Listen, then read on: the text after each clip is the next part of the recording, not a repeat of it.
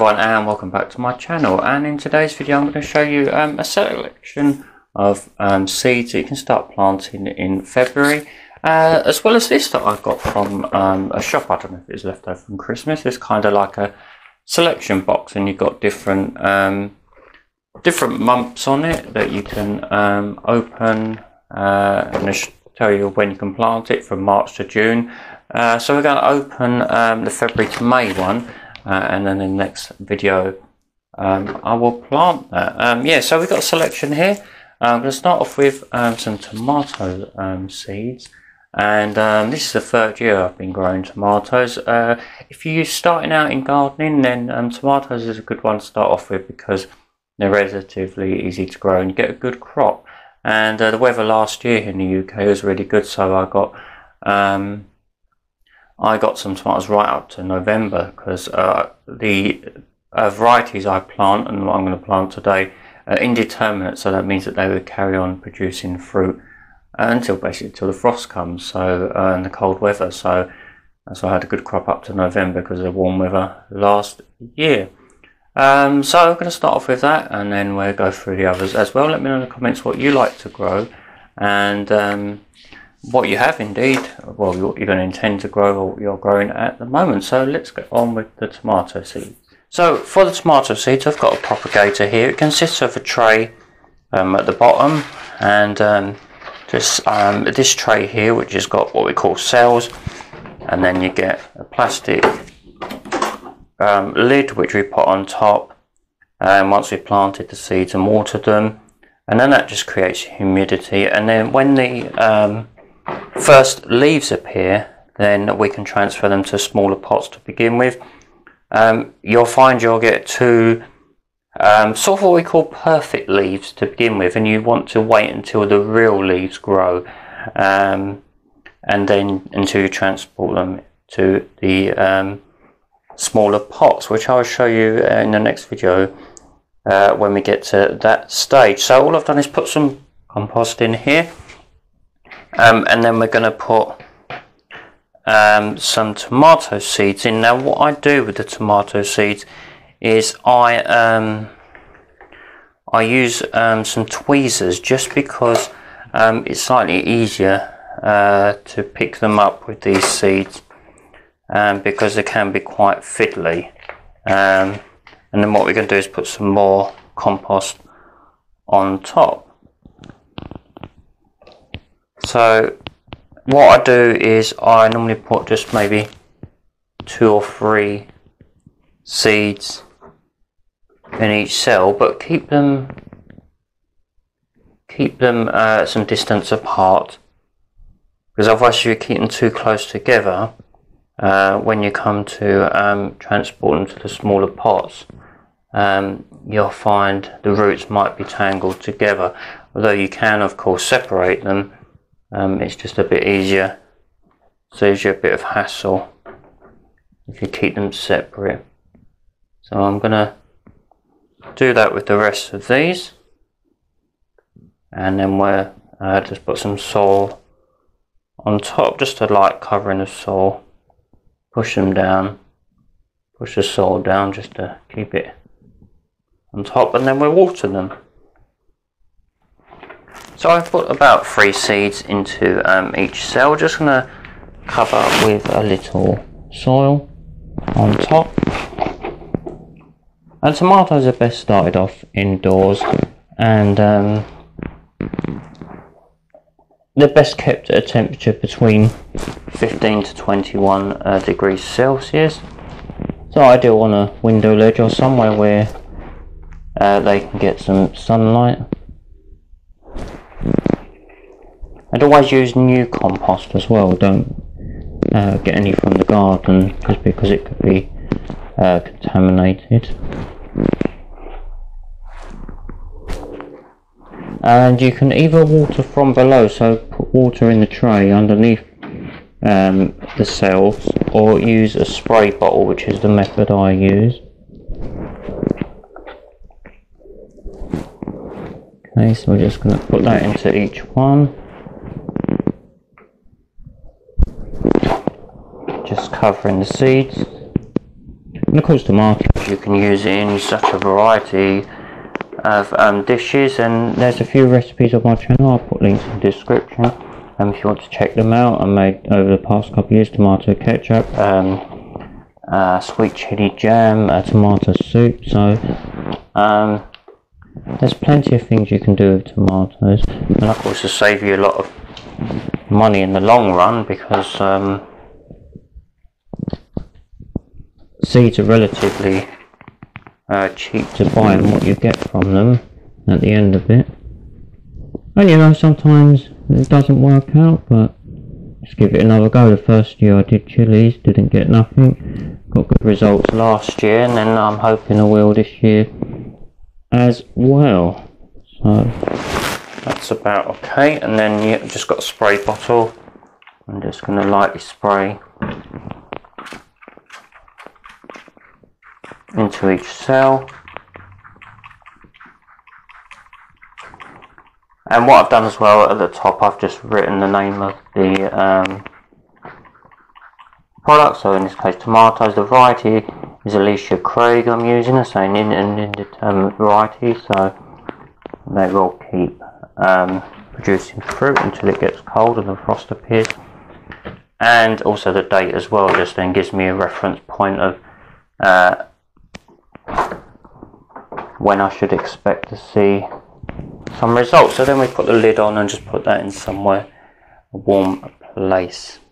So with the um, chili seeds, it's basically just the same method. Um, with chilies, they just need a bit of a, a warmer temperature, uh, 18 to 25 degrees uh, Celsius. And um, because they, just need that slightly warmer temperature, and I think that's maybe why the first year they didn't work out that well. Um, and they're demon red variety. This one, there's so many different varieties, so these are quite a hot variety. Um, so, like before, I'm just going to put a few seeds in each one, um, and then cover um, with some soil, and then put the lid on after that. So the chili uh, seeds are now put a couple in, I've put some on and I've watered them. And so we're just going to put the lid on. Um, and then we're going to move on to our next one. So for the cauliflowers, we need a slightly different approach to the uh, chilies and the tomatoes. So the variety I'm using is this uh, all the year round white cauliflower. Um, so what I've got here is um, some pots, um, need to be at least 8 centimetres in width. Uh, just put some salt in and then what we're going to do is put a couple of seeds and one than two just one or two because obviously they're a much larger vegetable and they're going to uh, take up a lot of space. Um, so we need to do them in bigger pots and we're going to do as we did before just with tweezers just get a couple of seeds and put them into each um, pot. And then what we're going to do is put them into um, just some a trace and you know, just shallow water, maybe a centimetre or so. And we're going to sit the pots in there for about 15 minutes just uh, so the soil can take in that water. Um, and they do need a good supply of um, water, but not too much sunlight. Um, so, and then obviously when they get uh, large enough, we can uh, grow them outside. Um, so let's put the seeds in and then we're going to cover with some more compost. So the cauliflower seeds are a lot smaller so they're a lot harder to see. Like so I've just put two in. Um, and you can sow indoors from January to March and outdoors from March to June or September to October. And they need to be around about 13 degrees Celsius, so not as um, high temperature um, as the chilies for example. So we're just going to place them in the shallow water for about 15 minutes. Oh, and I do need to just top up with a bit more um, soil as well, so just to cover the seeds. And then what will happen is we will see, maybe in about uh, a couple of weeks, we should start to see um, them sort of appear above surface. So just cover some soil on there. Like I said, I've never grown cauliflower before. So this is a first time. Okay, and then the last two things I'm going to show uh, today um, are just a couple of um, flowers. We've got some lavender and we've also got some uh, poppies as well. Um, of course, flowers are not only good for um, making your uh, home look nice, your garden, but also attracting insects and bees as well. So there's a benefit there as well. And of course, with the poppies, uh, poppies, uh, once you get the seeds, you can of course use them in baking as well. So um, there's also that additional benefit as well. So I'll just cover that. And so we're going to let that sit in the water for about 15 minutes.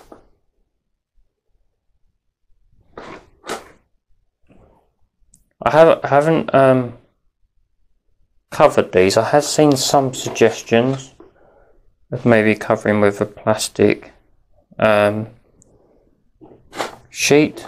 Um, so I will just keep an eye on them and see how um, how they come out. So, okay. so after 15 minutes, you can see how much water is left compared to what we uh, started with. So uh, the soil has absorbed uh, the water, and then obviously we'll just keep an eye on that um, and just give it a watering as it needs it. So moving on to the poppy seeds, I've got a container here. You need to have quite a deep container for the poppy um, seeds because they need enough room for their roots to grow. If you want to plant them indoors, then February till April is the ideal time, and then April to July um, outdoors. Um, and just going to sow, sow them thinly over the surface. Um, and they need an ideal temperature 15 to 20 degrees. The seedlings should appear after about 14 to 28 days. Now what I'm going to do with these is I'm going to just, I'm not going to use the tweezers because they're really tiny, the seeds, and quite delicate. So I'm just going to put some in my hand and I'm just going to sprinkle them over. Um, and then we'll just put some more soil on top. And like I said earlier, these seeds, um, poppy seeds, you can't eat these ones, but once you get the actual flowers, you can use the seeds from the actual poppy flowers in baking so that's an added bonus as well as making your uh, house and garden look nice so let's just sprinkle some over the top and then we'll add uh, the compost on top. So yeah they're that minute you can't even see them. Um, so let's just add some uh, compost on top um, and then we'll just give them water just want a thin layer on top.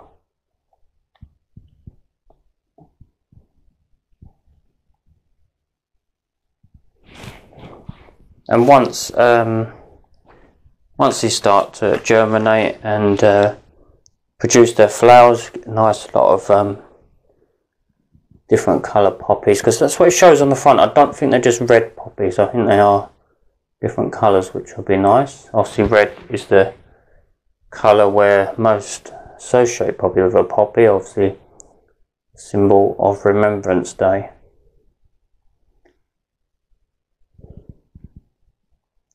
Okay, and then we're just going to give that little watering on top. And then the last uh, one we're going to do is the lavender seeds.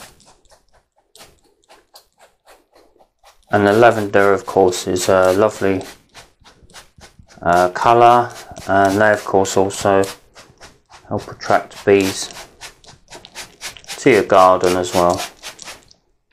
Okay, and for the lavender, just move that over there a second.